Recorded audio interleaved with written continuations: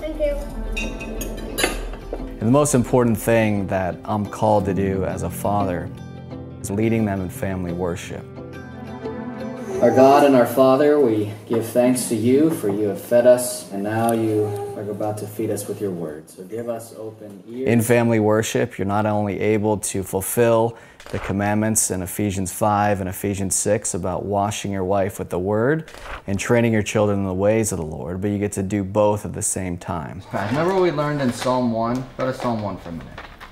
Can I read it?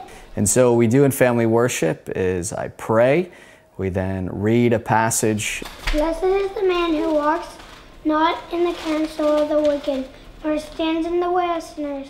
I explain it to the children and to my wife. Some choose to live by faith and they choose to hear the word of God. And then we sing.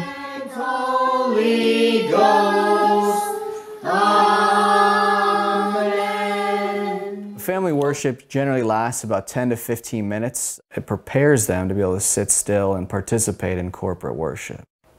One of the reasons why family worship is so important is because as fathers, we're commanded to pass down the faith to our children. How does God justify? God forgives all my sins and accepts me as righteous through Christ. Very good. How does God sanctify you? God makes me more and more holy in heart and conduct.